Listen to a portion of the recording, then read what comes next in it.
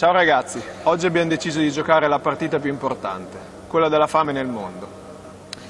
Per farlo mettiamo in questa scatola questi alimenti. Zucchero bianco, fagioli, lenticchie, ceci,